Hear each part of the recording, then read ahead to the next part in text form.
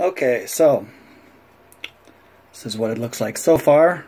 Got a long ways to go. Got to clean off that edge right there and clean up these things all the way around, make them a lot pretty. They're very rough right now, and there's nothing in here really to hold these in place. I'm going to have to come up with some sort of uh, gasket around there that'll comfortably hold them in place. But uh, oh, it looks pretty good. I like that brass rod that I put in the middle to cover up the uh, the threaded uh, post. Um, so yeah, uh, um, one of the songs I've just started working on is uh, um, Orange Blossom Special, which is what two harmonicas would be really cool for, as Hank knows.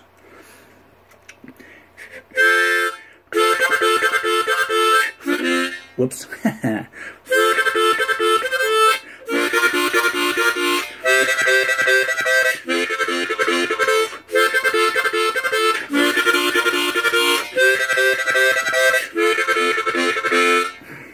yeah, we'll get to the next part later. Ah, anyway, that's as far as I've gotten so far.